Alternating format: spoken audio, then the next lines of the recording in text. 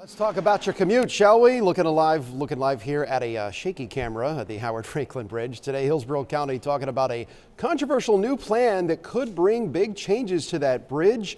And the hope is to ease congestion eventually, though new uh, express lanes uh, still haven't happened. That's the plan. But as the Now's Lauren Rozyla is about to show you, this could mean potential years of construction.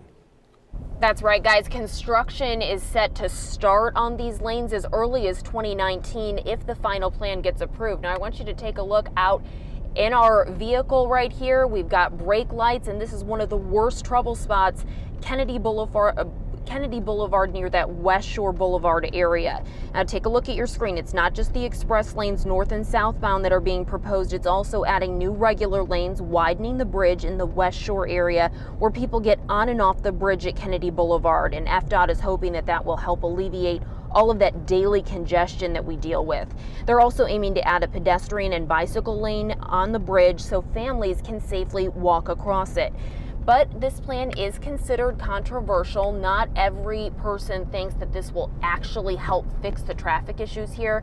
So again, county leaders are discussing this today and hope to make a more final decision on whether this gets approved within the next few weeks. I'm Lauren Rozyla for the Now Tampa Bay.